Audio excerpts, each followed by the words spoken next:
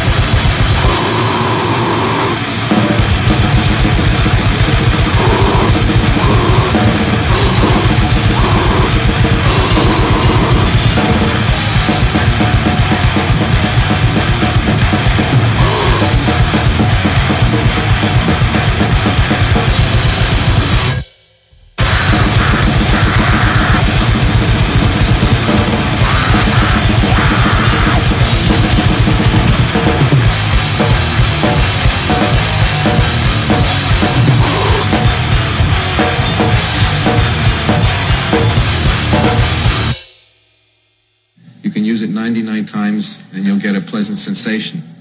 And then all of a sudden, on the hundredth time, your mind will snap.